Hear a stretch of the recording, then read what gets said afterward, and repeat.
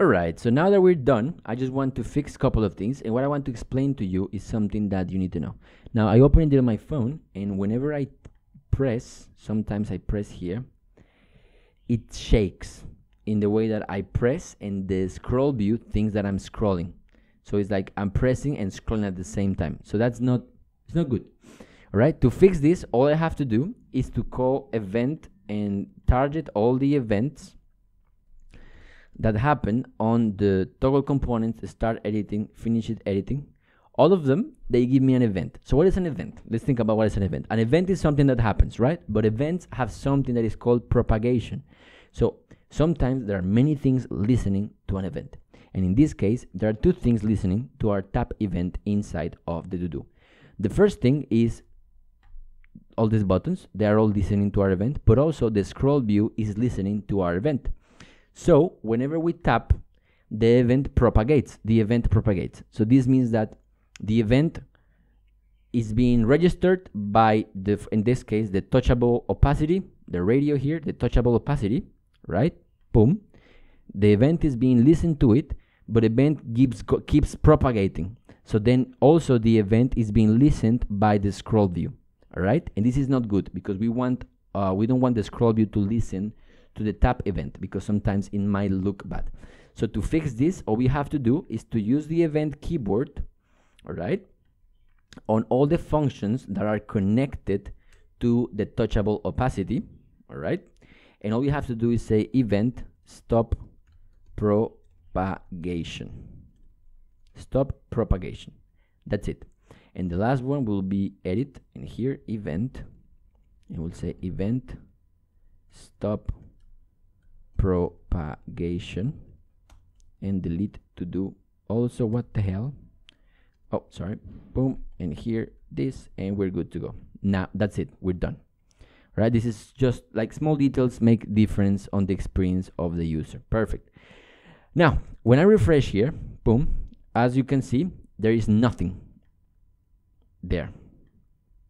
Package in the app json when i can see here as you can see it's white it's not cool all right so i'm going to change my splash screen. This is the last part of, the, of this uh, small course. I'm going to change the splash screen to have this background color. So on my app json i am going to say that my background color now is this one. Just give it a minute. All right so it doesn't work yet because i need to change the assets. Splash and icon now, thankfully, I already have these assets. You can make your own, right? But I already have these assets. So I'm gonna just uh, go to my Kawaii to do assets, and I'm gonna copy, paste icon, and copy splash screen. I already have them, and just replace them. Replace.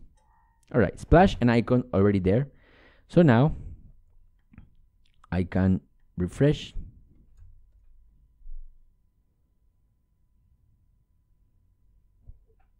and as you can see it is working.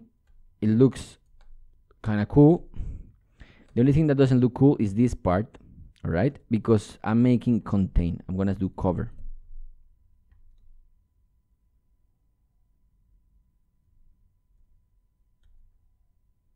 Oh maybe this is because the image is a little bit small. Maybe. Just let me be here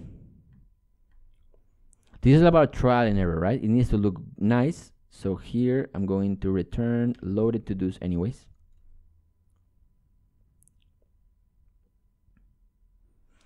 So, yep, I think it's because my image is small. Fucking hell. Ah, I didn't do it as tall. Maybe because this is an iPhone 6 and I did it in the other one before. I need to fix this later, but you can do it on your own. Now the background color is going to be this one, resize mode cover and that's it. I think that's it for this uh, video. It's a four minutes super simple. It's not a big deal uh, but this is how you change stuff all right? On your yeah on your thing. On your um, application with expo. This is it. It's not very hard. You can uh, you can download them if you want. I mean you could if you wanted um, all you have to do is make it a little bit more tall because it's a little bit small. And that's it.